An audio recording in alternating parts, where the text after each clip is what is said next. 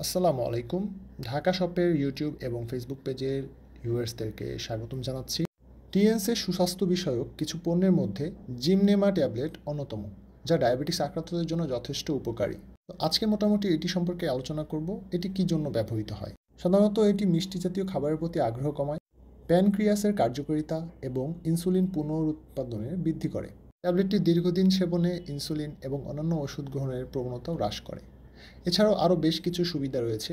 আরও বিস্তারিত জানতে আপনি ঘুরে আসতে পারেন আমাদের ঢাকা শপের ওয়েবসাইট থেকে এবং পণ্যটি অর্ডার করতে পারেন। চলছে থার্টি পার্সেন্ট ফ্ল্যাট ডিসকাউন্ট। আমরা পুরো বাংলাদেশেই হোম ডেলিভারি দিয়ে থাকি।